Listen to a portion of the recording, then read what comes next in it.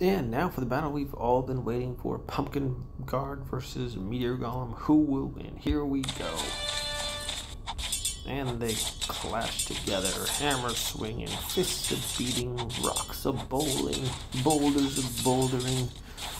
The uh, Pumpkin Guard can lower the attack and taunt, and I think they have equal hit points the Stone Golem, or Meteor Golem does hit pretty hard though, and it has the stun, so this one could be a while. Let's uh, crank it up to two, shall we? That stun seems to be fairly effective here. the Pumpkin Guard only getting about one hit to the uh, Meteor Golem's uh, three, it seems like. So that's not good news for the uh, Pumpkin Guard. But you never know. Yeah, just just owned him pretty much.